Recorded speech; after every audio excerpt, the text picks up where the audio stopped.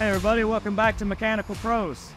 Today we're down at one of our customer sites and we're going to talk about upgrading the control panel on a Trane CVHE chiller from a UCP2, which originally shipped with this machine, to an MCS panel, a micro control system control panel.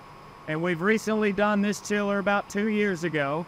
We've since then done another chiller in this plant. There's plans for the third one as well. We've had great success doing this across the board, a lot of different types of, of but this one in particular we'll talk about because there's a lot of these guys out there on the market. So what you see in front of me here is your basic control package that you're going to get when you place your order. Now you can customize this as you like. If you know all your settings and set points you want to have in the machine beforehand, you can by all means send that information to MCS and they'll fix you right up, or you can just order it with the package it comes with and then modify your settings in the field is which, which we did and that worked very well for us.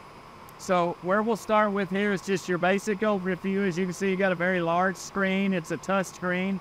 Does come with a stylus and you've got your basic system overview panel. Now on the old panel, you didn't have any graphic display. You just had a, a, basic display that gave you your basic information with a few arrow up and down keys and things of that nature and an enter key, but you didn't get the graphic hack with that like you do here. So just on my basic system overview package, I can see a lot of information there. I can see my entering water temperatures. Obviously, seen the chillers running, what the inlet guide vane positions are, what my chill water temp in and out, what my condenser water temp in and out, bearing temperatures, compressor amps, a lot of information just off the front screen of the panel. And then we have some other things we can look at. We can dive in a little deeper and go to our compressor itself and narrow that right down, get more oil pressure, oil differential, discharge saturation temperatures, suction saturation temperatures across the board. I can even see my motor winding temps here. And as you'll notice here, it's it's giving me some LED indications, right, or what's supposed to look like an LED. My compressor enable, my vanes, whether they're open or closed, oil pumps, oil heaters. When we open this panel up, you'll see that in another way, another visual way to look at that. But a lot of good information. Just again, we're still just kind of on the basic screens here. My compressor. Now I can look at my evaporator and my condenser barrels. I can see again what my and leaving water temperatures and set points are and pressures as well. My purge overview, see what my purge is doing. Do we have any leaks in this machine? Do I have excessive purge run hours? Again, this is a low pressure machine, so the purge is critical on this guy. And then here's one of the best features, VFD overview. In this particular machine, we chose to get the package where we gutted the starter cabinet and got rid of a lot of the mechanical starter components and we installed a VFD in the cabinet to control the motor. You pick up a lot of efficiency doing that way. You can turn the machine down a lot further like that. So really handy feature. And again, we didn't really have to add any big pieces. We just gutted the starter cabinet, put our drive in there. It's air cooled drive. It's not refrigerant cooled or liquid cooled. So don't have to tie in the refrigeration circuit. You just got a fan in the cabinet there to circulate air across that drive and keep it nice and cool. And then uh, this factory is a very important one. So in this case, we've been looking at overviews, how to view the machine. If I wanted to go in and make any changes this is where I do it, and we have that password protected, and you'd want it to be password protected. Your settings, you don't want those to be changed unless someone's approved to do that. So you'd have to have the password to get in there. So we are not going to change any settings, so cancel out of that. It's a really neat feature here, documents. So we've got our MCS Connect panel document, an overview of this panel that's going to come with it. But then if I wanted to put any factory IOMs from the machine itself, I could load those in here. I could load any document I wanted in here. Maybe I had some trends that I'd recorded to show how good the machine been running so I can compare that next year. Could load it right in the documents file. So that's a really neat feature as well. I'll go back to the system overview and talk about something else real quick that our lead chiller tech brought up with me that I'd kind of forgotten about. He can be sitting at home customer can call and have an issue with the chiller. And because this isn't proprietary anymore, this is open. All he's got to have is the IP address. He could dial this chiller up from anywhere in the country, look at the chiller, check the alarm logs, reset it as needed, and get the chiller back online. Big feature, customer really likes that. Saves a lot of downtime. You're sending a service tech out on call. He's got to gear up from his house, make it to the job. In this particular instance, it's a church chances are by the time he gets here, service is probably already over. you got an unhappy customer, but we can dial this up remotely, reset alarms, get the chiller back online, and minimize downtime for the chiller.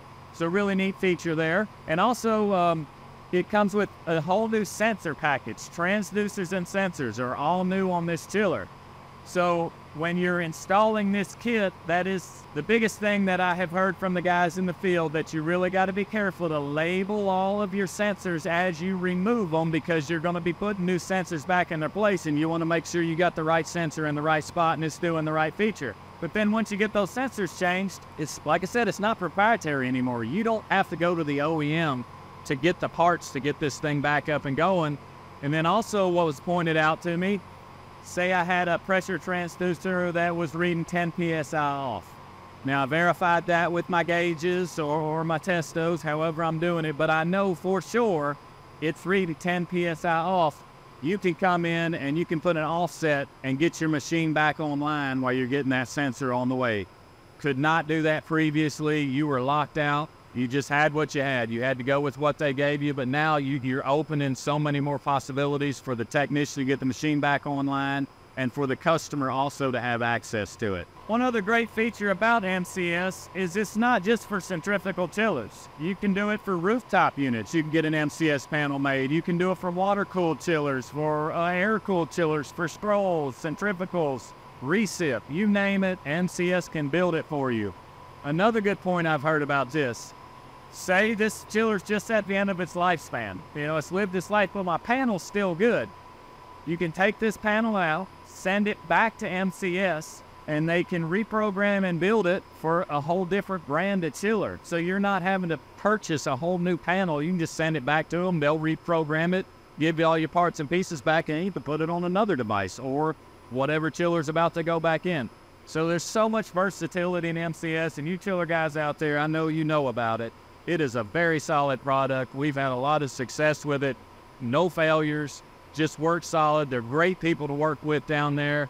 Um, I, I, highly recommend it. If you got the opportunity, look these folks up. They'll do a great job for you.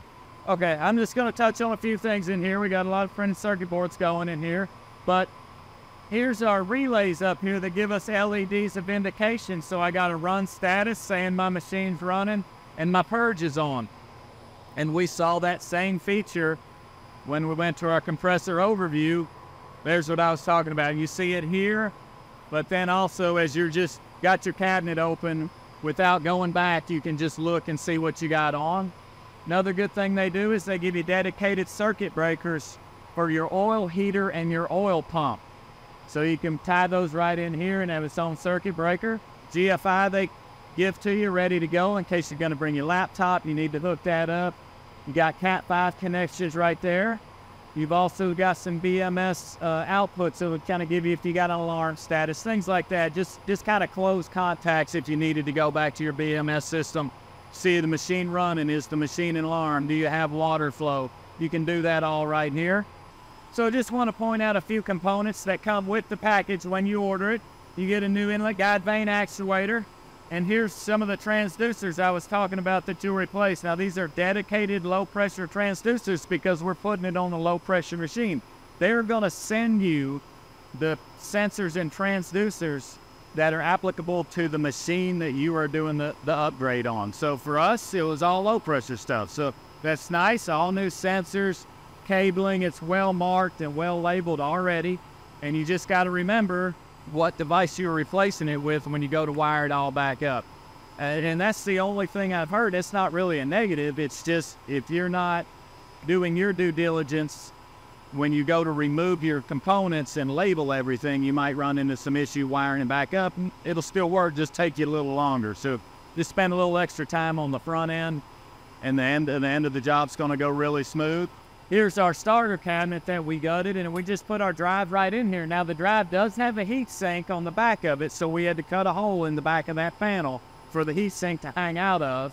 But then you've got your fans where you've got a fan in there and you got air pass all the way across the drive, keeps the drive nice and cool. If you ever did have a VFD alarm or an over temp, it would show on your front panel, your chiller go down, you'd be able to pull that up and see exactly what that alarm was. Another thing that's been very beneficial for us is being a member of the Chiller Group.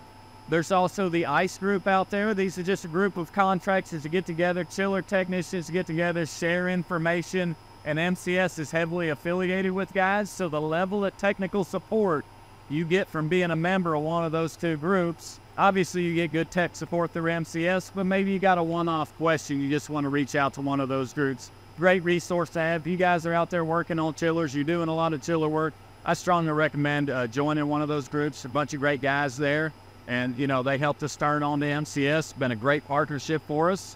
And, and we're got them rolling and we're doing many more to come. Well, that's about what I've got for today on MCS. Again, just a quick overview, but we'd love to get deeper into this. So you guys send those comments and suggestions. And if you want to dig deeper into MCS panels and get deeper into set points and changing things and operation, just send us a suggestion. We'll make sure we get it done.